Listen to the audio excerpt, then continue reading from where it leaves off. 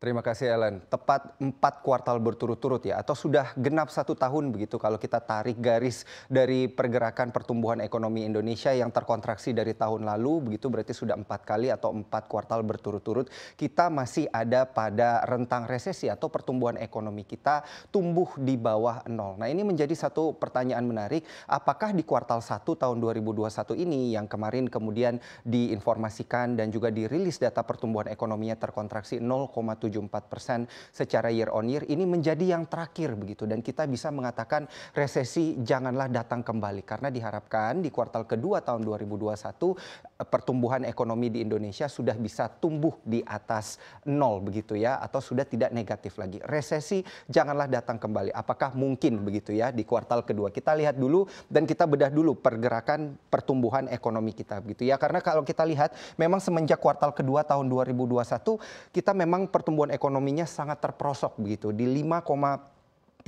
persen terkontraksi tentunya uh, tidak lain dan tidak bukan ini adalah uh, akibat daripada COVID-19 begitu yang menyerang tidak hanya Indonesia tapi secara global dan mendorong pembatasan uh, berskala besar pada saat itu ya hingga saat ini uh, berubah nama menjadi PPKM. Nah, anda lihat di sini dari kuartal per kuartal memang ada pertumbuhan karena memang pemerintah menggelontorkan stimulus dan juga berusaha memberikan eh, kebijakan-kebijakan khusus begitu yang bisa mendorong tetap pertumbuhan ekonomi kita. Di kuartal keempat tahun 2020 lalu kita masih terkontraksi 2,19 persen. Tetapi pertumbuhan di kuartal 1 2021 yang uh, tumbuh negatif 0,74 persen walaupun masih negatif ini dikatakan oleh kepala Badan Pusat Statistik sudah menunjukkan angka-angka perbaikan. Anda lihat saja yang dari minus atau kontraksi 2 persen saat ini sudah uh, minusnya membaik begitu ya menjadi 0,74 persen. Sedikit lagi begitu kita bisa tumbuh kembali di atas 0%. Tetapi apakah mungkin begitu nanti ini akan terjadi di uh, kuartal kedua tahun 2021? Karena kalau kita lihat pertumbuhan produk domestik bruto kita di sini memang masih berada di angka 3.969.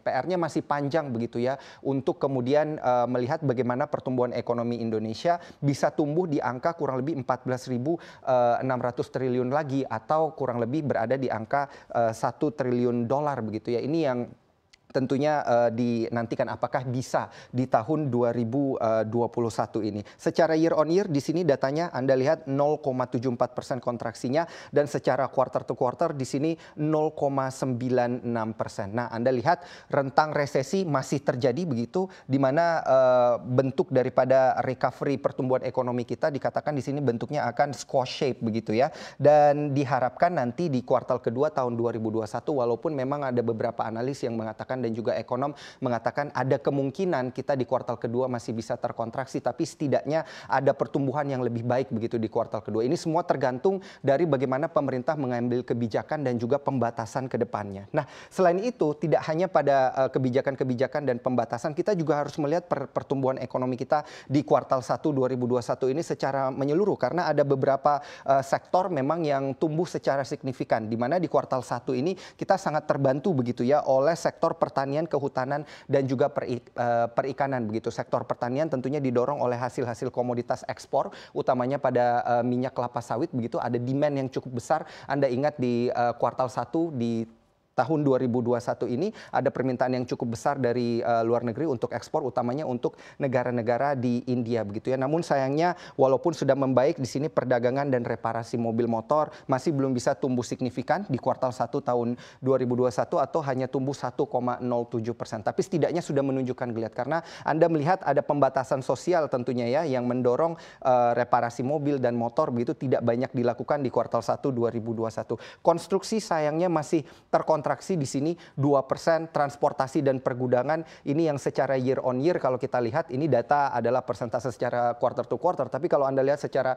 year on year di sini datanya memang masih double digit begitu ya uh, untuk kontraksinya. Kurang lebih ada di kisaran 13% begitu untuk kontraksinya yang dikatakan masih akan berupaya didorong oleh pemerintah begitu diberikan stimulus supaya uh, tidak terkontraksi terlalu dalam begitu di kuartal-kuartal selanjutnya. Penyediaan akomodasi uh, makanan dan minuman juga sayangnya masih terkontraksi di kuartal satu, tapi diharapkan di kuartal kedua ini dengan adanya momentum Lebaran bisa ada perbaikan. Tetapi yang menjadi primadona di sini walaupun pertumbuhannya hanya 0,89 persen secara year on year, Infocom di sini menjadi salah satu primadona pertumbuhan ekonomi ya. Tentunya karena semua kegiatan perdagangan atau uh, jual beli dan lain sebagainya konsumsi masyarakat banyak dilakukan dengan menggunakan teknologi informasi dan juga komunikasi. Jasa kesehatan sayangnya masih harus uh, terkontraksi di kuartal 1 dan juga uh, sektor lainnya di sini masih ada kontraksi di kisaran 5,58 persen. Semua ini masih tergantung dengan kebijakan apa yang akan diambil oleh pemerintah ke depannya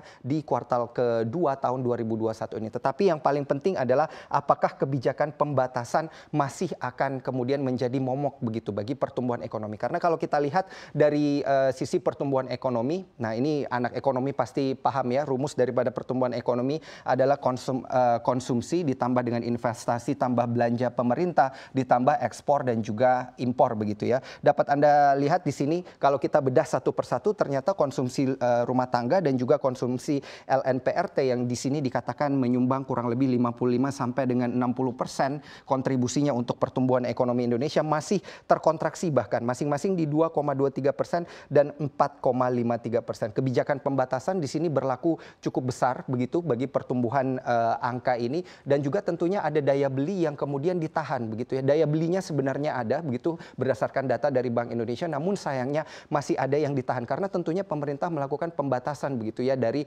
tiap daerah. Uangnya terkadang memang hanya berputar di daerah tersebut dan bahkan tidak dikeluarkan begitu atau ditabung saja menunggu nanti momentum yang tepat untuk masyarakat uh, melakukan uh, pembelian begitu ya. Konsumsi pemerintah di sini bisa digenjot 2,9 enam persen. Tentunya ini karena ada uh, belanja dari pemerintah utamanya untuk uh, bansos begitu ya dan juga belanja-belanja uh, lainnya dari pemerintah dan juga belanja untuk PMTB di sini. Ada belanja barang modal dan lain sebagainya namun sayangnya masih terkontraksi begitu 0,23 persen. Nah yang perlu kita perhatikan di sini adalah angka ekspor dan impor yang ternyata juga mendorong pertumbuhan uh, ekonomi begitu ya. Angkanya walaupun tidak sesignifikan uh, untuk belanja rumah tangga sendiri begitu tetapi at least di sini bisa mempertahankan pertumbuhan ekonomi juga dengan ada pertumbuhan di 6,74 persen dan 5,27 persen.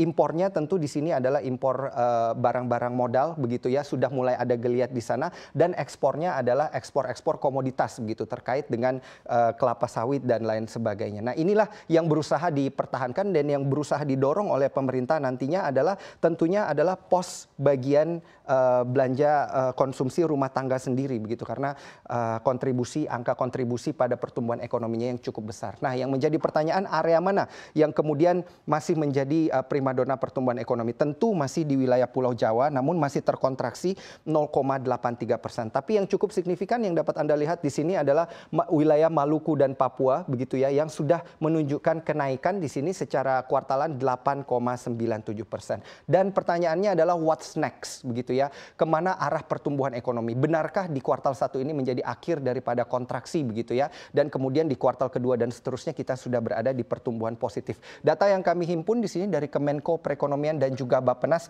di sini mengatakan di kuartal 1 2021 apabila Anda lihat pertumbuhannya memang yang diproyeksikan cukup rendah. Bappenas mengatakan 0,8 persen di kuartal 1 dan Kemenko Perekonomian mengatakan 0,3 sampai 0,5. Memang kedua angka ini uh, pada akhirnya meleset begitu karena pertumbuhan ekonomi kita tumbuh di bawah 0%. Namun yang perlu kita perhatikan adalah bisakah angka-angka di kuartal kedua hingga kuartal keempat ini kemudian tercapai begitu sampai di kuartal keempat tahun 2021 Kemenko Perekonomian uh, memproyeksikan pertumbuhan ekonomi 5,8 sampai 6,6 persen dan Bappenas kemudian menunjukkan angka pertumbuhan di angka 6,5 persen secara uh, Eh, sehingga secara keseluruhan tentu pertumbuhan ekonomi kita bisa uh, bertumbuh di range kisaran 4 hingga 5 persen. Nah inilah yang dinantikan tidak hanya bagi pemerintah saja tentunya tapi bagi seluruh masyarakat Indonesia karena apabila resesi uh, dan resesinya pergi dan tidak datang kembali ini artinya pertumbuhan ekonomi di Indonesia sendiri sudah menunjukkan perbaikan yang sangat-sangat signifikan.